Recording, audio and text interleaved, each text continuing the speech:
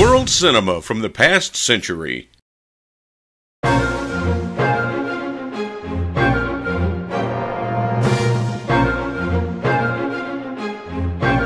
Only on YouTube channel Rob Goblin 2000.